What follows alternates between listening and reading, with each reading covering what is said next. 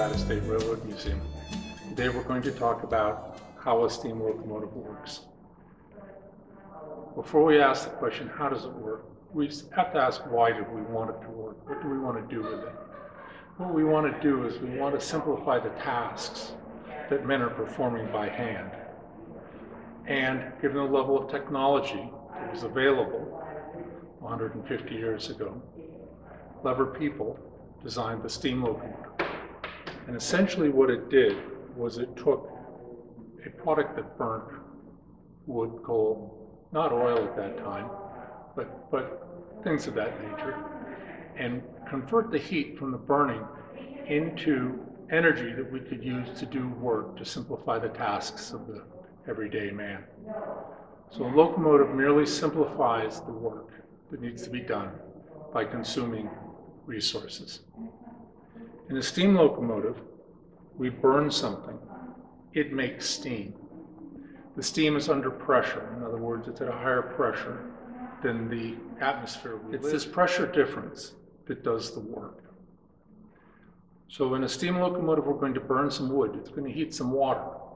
We're going to capture that water inside a sealed container. And as we continue to heat it, it's going to get hotter and the pressure is going to go up.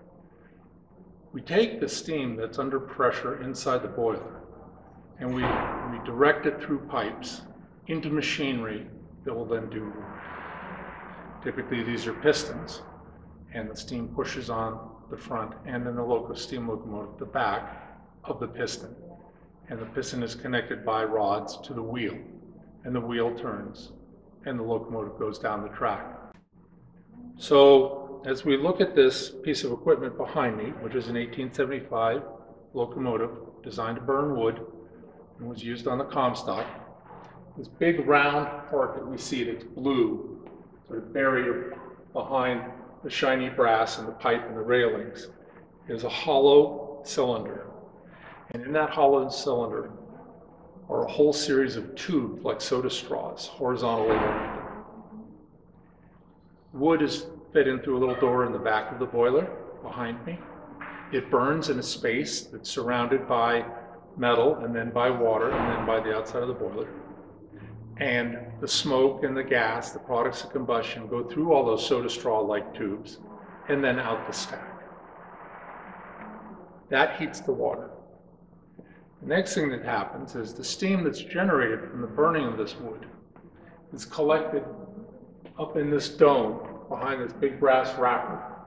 And there's an actually an extension of the boiler that goes up in there, and it's way up in the air to, to make it dry, to get the steam we want as far away from the water as we can get it. So it's a, a drier steam, but it's not purely dry. Inside that dome is a valve. The engineer can open that valve, letting steam through a series of pipes that run inside the boiler and then down in the front in a curve into this area, which is the steam chest and the piston. The steam chest has a valve in it that slides back and forth in concert with the piston through a mechanism back underneath the locomotive. And what it does is it allows steam to be admitted either on the front side or the back side of the piston at the right time to do the most work. Once the piston has used that steam, the valve is shut off the steam to the cylinder. The steam is exhausted out another pipe and it blows up the stack. And that is the characteristic chuff that you hear, is the steam exhausting after having done work in a piston, on a piston in a cylinder. We can see in a very simplified form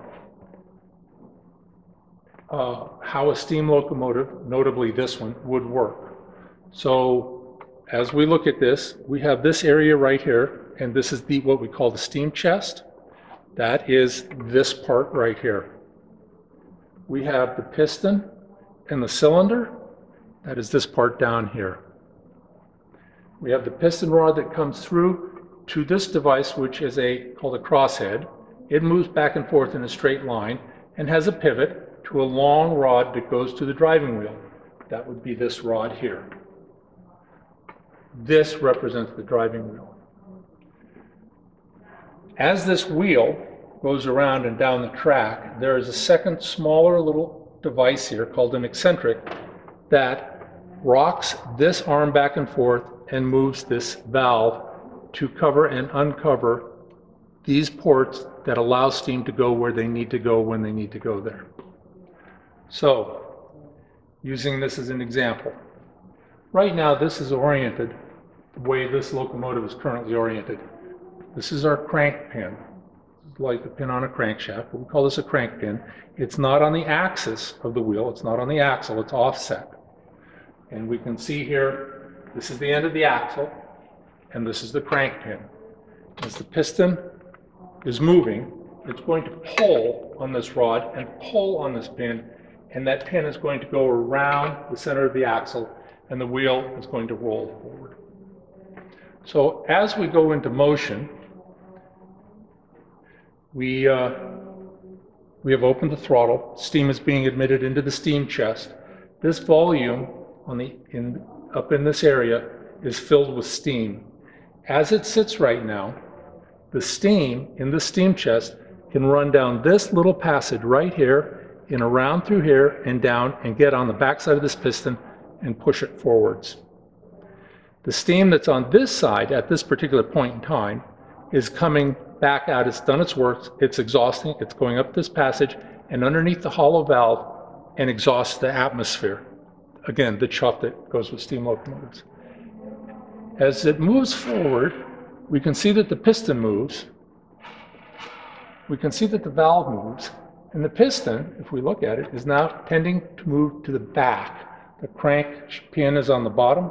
The piston is moving back. The motion is through the piston rod, through the main rod, to the crank pin, turning the wheel this way.